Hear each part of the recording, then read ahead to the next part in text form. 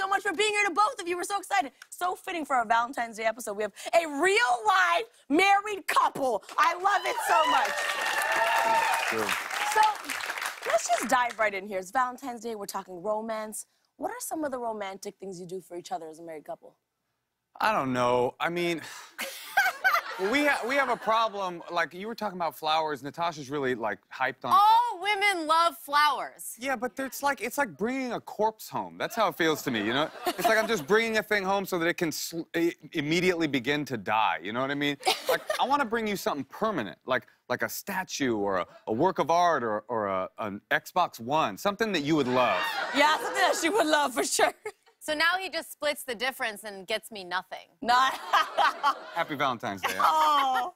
Well, here's a question. Before you were married, when you were both single and dating, were romantic gestures a big part of your dating life? I mean, I have broken up with men because of their romantic gestures. I've had two different boyfriends take me to Disneyland. Wait, wait, I don't get it. I mean, I just didn't want to go there.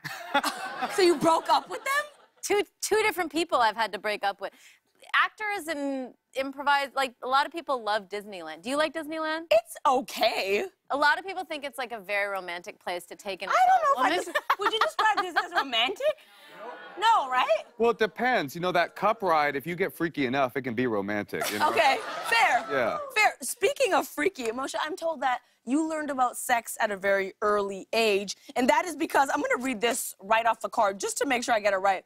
Your mother would take you to a sex shop to learn about the birds and the bees. I need to know everything about this.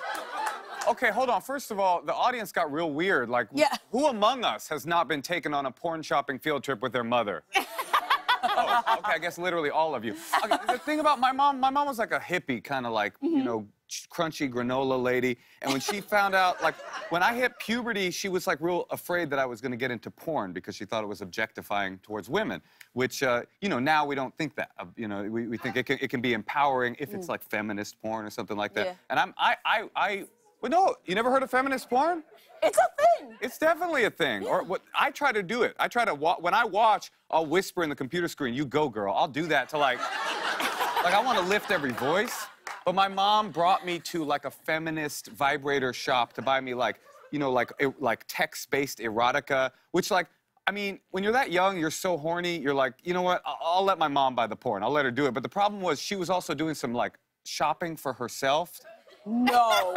100%. Yeah, no. So I had to watch her. She's like slapping on accoutrement for her like Hitachi. Do you know what a Hitachi magic wand vibrator is? I I don't. Well, I do because I used to hear it in my house growing up. So that's the reality I lived in. Wow. Happy Valentine's Day, by the way. My my Indian upbringing cannot relate at all right now. Wait, did you learn about sex in a similar way?